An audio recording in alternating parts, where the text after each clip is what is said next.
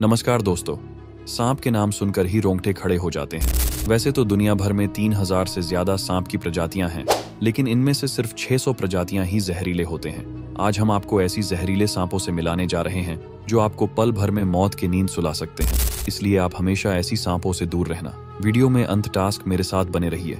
अभी तक आपने वीडियो को लाइक नहीं किए तो लाइक कर देना। दुनिया के सबसे खतरनाक सांपों में पहले नंबर पर हैं वेस्टर्न टाइपन।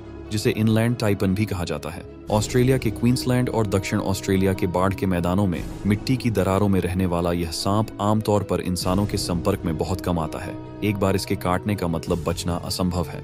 नंबर दो पर आता है eastern brown snake. Eastern brown snake दुनिया के सबसे जानलेवा सांपों में से है। इनलैंड टाइपन के बाद यह दुनिया का दूसरा सबसे जहरीला जमीनी सांप माना जाता है। यह भी ऑस्ट्रेलिया में पाया जाता है। इनलैंड टाइपन के बाद दुनिया का दूसरा सबसे जहरीला लैंड स्नेक माना जाता है। वयस्क ईस्टर्न ब्राउन सांप पतला होता है और लंबाई में सात फीट तक हो सकता है। इनके काटने पर जी मिचलाना, उल्टी, पेट दर्द और सिर दर्द होता है। वैसे इस सांप को जब तक छेड़ा न जाए तो वो कुछ नहीं करते।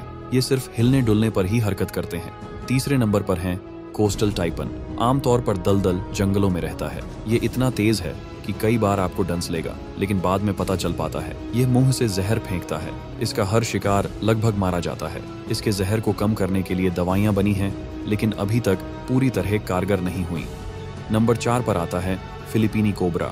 कोबरा सांप की अधिकांश प्रजातियाँ जहरीली होती हैं, पर फिलिपीनी कोबरा में बहुत ज़्यादा जहर भरा होता है। इसकी सबसे बड़ी खासियत यह है कि यह शिकार को डसने की बजाय उस पर दूर से जहर थूकता है। ये तीन मीटर की दूरी से भी शिकार पर जहर थूक सकता है। ये एक बार में काफ़ी मात्रा में जहर थूकता है। इसका जहर न्यूरोटॉक्सिक होता है, जो कि सीधे सांस और दिल पर असर करती है।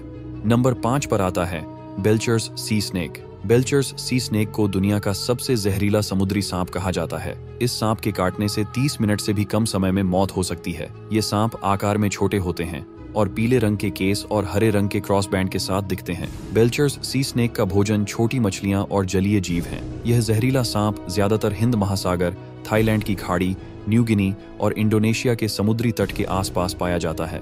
नंबर छह पर है बैंडेड क्रैथ करैत भारत में पाई जाने वाली सबसे जहरीली प्रजाति का सांप है। हालाँकि ये बेहद शर्मीला होता है। बैंडेड करैत देखने में बहुत खूबसूरत होता है और इसे अहिराज सांप भी कहते हैं। हालाँकि, ये जितना खूबसूरत है, उससे कई गुना जहरीला है। ये बेहद कम काटता है और गलती से पैर पड़ने या खुद पर हुए हमले की वजह से ही काटता है। बैंडेड करैत का जहर न्यूरोटॉक्सिक होता है।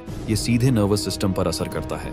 ये सांप ज़्यादातर रात में निकलते हैं। इनके दांत छोटे होते हैं। कई बार शिकार को पता भी नहीं चलता कि उसे सांप ने काट लिया है और बिस्तर पर ही उसकी मौत हो जाती है। सात नंबर पर हैं ऑस्ट्रेलियन कोबरा, जिसे ईस्टर्न टाइगर स्नेक के नाम से भी जाना जाता है। आमतौर पर भारत में दिखने वाले कोबरा सांपों की ही तरह होता है, लेकिन इसका जहर भारतीय कोबरा से भी ज़्यादा विषैला होता है। एक बार भी किसी के शरीर में अपना दांत ढंसा तो उसका बचना नामुमकिन होता है। आठवीं स्थान पर है बरबा अमरिला सबसे आक्रामक सांपों में से एक है। दो मीटर, यानी तकरीबन छह फुट तक लंबा यह सांप मध्य अमेरिका में पाया जाता है। जहर इतना घातक कि काटने वाला पानी भी नहीं मांग सकता। कई बार यह घरों में घुस जाता है, लेकिन काटता तभी है जब इसे खुद को खतरा महसूस होता है। नंबर नौ पर आता है, common death adder. Common death adder भी दुनिया के सबसे जहरीले सांपों में से एक है।